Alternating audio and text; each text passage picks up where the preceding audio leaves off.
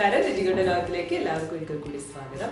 അപ്പം new year ഒക്കെ ഇന്ന് എന്താ അതിന്റെ ആഘോഷങ്ങളൊക്കെ ഒരു വഴിക്കായി തോന്നുന്നു. എല്ലാവരും നോർമൽ ലൈഫിലേക്ക് ഇങ്ങനെ തിരിച്ചു വന്നു. അപ്പോൾ നിങ്ങൾ ന്യൂ ഇയർ റെസൊല്യൂഷൻ ഒക്കെ എടുത്ത കുറേ പാർട്ടീസ് ഉണ്ടാവും. അപ്പോൾ അവരതൊക്കെ കണ്ടിന്യൂ ചെയ്യുന്നുണ്ടാവും വിചാരിക്കുന്നു. ഞാൻ എന്തായാലും ന്യൂ ഇയർ റെസൊല്യൂഷൻ ഒന്നും എടുത്തില്ല. കാരണം എനിക്ക് ഉറപ്പാണ് ഒരു വൺ മന്ത് ഒക്കെ അത് കൊണ്ടുപോകാം അല്ലാതെ എന്തായാലും നടക്കില്ല എന്ന് അറിയുന്നതിനെ കൊണ്ട് ഞാൻ ആ വഴിക്ക് പോയിട്ടില്ല. അപ്പോൾ എന്തായാലും നിങ്ങൾ എടുത്തിട്ടുണ്ടെങ്കിൽ അത് കണ്ടിന്യൂ ചെയ്യുന്നുണ്ടാവും എന്ന് വിചാരിക്കുന്നു. അപ്പോൾ ഇന്ന് ന്യൂ ഇയർ ആയിട്ട് നമ്മൾ കുറച്ച് റെസിപ്പീസ് ഒക്കെ എടുത്തിട്ടുണ്ടായിരുന്നു. അപ്പോൾ ഇന്നൊരു നാല് മണി പലഹാരമായിട്ടാണ് ഞാൻ വന്നിരിക്കുന്നത്. നമുക്ക് എപ്പോഴും പിള്ളേർ സ്കൂളിൽ നിന്നൊക്കെ വരുന്ന സമയത്ത് ഈവനിങ് സ്നാക്ക് ഉണ്ടാക്കാൻ വേണ്ടിയിട്ട്. ഇപ്പോൾ ഡെയിലി ഏകദേശം ഒരേപോലത്തെ ഉണ്ടാക്കുമ്പോൾ പിള്ളേർക്ക് ഒരു മടുപ്പായിരിക്കും. അപ്പോൾ ഒരു വ്യത്യസ്തമായിട്ട് ഞാൻ ഇന്ന് ചേന വെച്ചിട്ടാണ് ഒരു നാലുമണി പലഹാരം ഉണ്ടാക്കിയിരിക്കുന്നത്. ചേന പക്കവടാന്നോ അല്ലെങ്കിൽ എന്താ ബജീന്നോ ഒക്കെ പറയാൻ പറ്റും. അപ്പം നമ്മൾ പല എന്താ രീതിയിൽ അതായത് കറിയായിട്ടും മെഴുക്കുവരട്ടിയായിട്ടും ഒക്കെ ചേന വെച്ച് ചെയ്യാറുണ്ട്.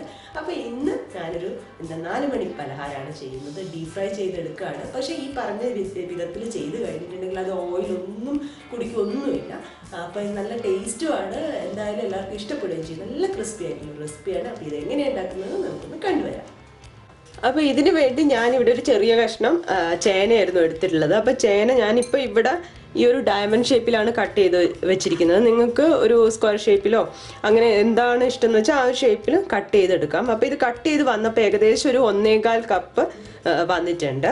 പിന്നെ വേണ്ടത് കടലപ്പൊടിയാണ്. കടലപ്പൊടി ഞാൻ എടുത്തിരിക്കുന്നത് അരക്കപ്പാണ് കപ്പാണ്. അതിന്റെ കൂടെ ചേർക്കാൻ വേണ്ടി ഒരു രണ്ട് ടേബിൾ സ്പൂൺ അരിപ്പൊടി എടുത്തിട്ടുണ്ട്. ഇത് ഞാൻ നമ്മൾ നൂൽപുട്ടിനൊക്കെ ഉണ്ടാക്കുന്ന ആ ഒരു പൊടിയാണ്. നൈസായിട്ട് പൊടിച്ചെടുത്തിട്ടുള്ളതാണ് എടുത്തിരിക്കുന്നത്. കാൽ ടീസ്പൂൺ മഞ്ഞൾപ്പൊടി അര ടീസ്പൂൺ മുളക് പൊടി കാൽ ടീസ്പൂൺ ജീരകം ഒരു നുള്ള് കായപ്പൊടി ആവശ്യത്തിന് ഉപ്പ്.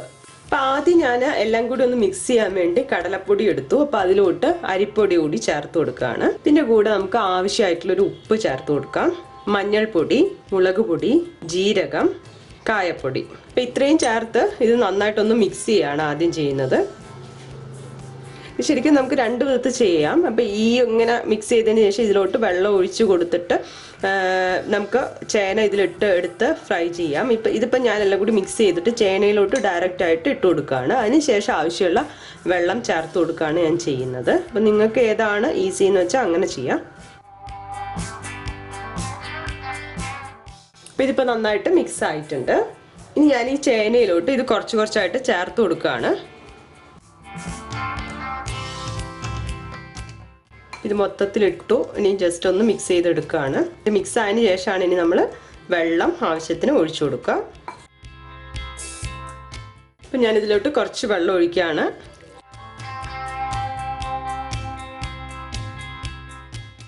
അപ്പോൾ ഇതിപ്പോൾ നന്നായിട്ട് മിക്സ് ചെയ്തെടുത്തിട്ടുണ്ട്. അപ്പോൾ നമ്മൾ ഇനി എണ്ണ ചൂടാക്കിയിട്ട് ഇതൊന്ന് ഫ്രൈ ചെയ്തെടുക്കാൻ പോവാണ്. അപ്പോൾ ഞാനൊരു ചീനച്ചട്ടിയിലാണ് ഇത് ഉണ്ടാക്കി ഫ്രൈ ചെയ്തെടുക്കുന്നത്. അപ്പോൾ ചീനച്ചട്ടി വെച്ചു. അതിലോട്ട് ഞാൻ ഓയിൽ ഒഴിച്ചു കൊടുത്തിട്ടുണ്ട്. അപ്പോൾ ഓയിലൊന്ന് ഏതാണ്ട് ചൂടായിട്ട് വന്നിട്ടുണ്ട്. ഓയിൽ നന്നായിട്ട് ചൂടായിട്ട് വരണം. ചൂടായി വന്നതിന് ശേഷം ഞാൻ ഫ്ലെയിം ഒന്ന് കുറച്ച് വെച്ചു. എന്നിട്ട് നമുക്ക് ഇത് ഓരോന്നായിട്ട് എടുത്തിട്ട് ഫ്രൈ ചെയ്യാം. അപ്പം ശരിക്കും ഇത് നന്നായിട്ട് കോട്ട് ചെയ്യാൻ വേണ്ടിയിട്ട് ശ്രദ്ധിക്കണം.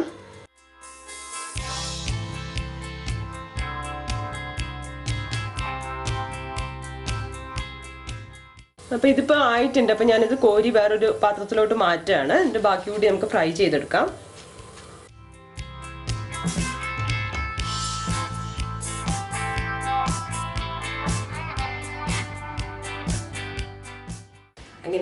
ക്രിസ്പി ആൻഡ് ടേസ്റ്റി ആയിട്ടുള്ള ചേന പക്കോട അല്ലെ ചേന ബജി ഇവിടെ റെഡി ആയിട്ടുണ്ട്. നമ്മളത് വറുത്തെടുക്കുമ്പോൾ തന്നെ തമ്മിൽ അങ്ങ് തൊടുമ്പോൾ തന്നെ ഒരു ശബ്ദമുണ്ട്. അത് കാണുമ്പോൾ തന്നെ അറിയാം നമുക്ക് എത്രത്തോളം ക്രിസ്പിയാണ് ഈ ചേന പക്കോട എന്ന്. പിന്നെ ഞാനിത് ഓയിലിൽ ഡീപ് ഫ്രൈ ചെയ്തതാണെങ്കിൽ ഓൾമോസ്റ്റ് ഒരു നയന്റി ഫൈവ് പെർസെന്റേജ് ഓയിൽ അതിൽ തന്നെ കിടപ്പുണ്ട്. ആ ഒരു ചിൻചട്ടി തന്നെ കിടപ്പുണ്ട്. അത്രയും ഓയിലൊന്നും കുടിച്ചിട്ടില്ല. നല്ല ടേസ്റ്റിയാണ് എല്ലാവർക്കും എന്തായാലും ഇഷ്ടപ്പെടും.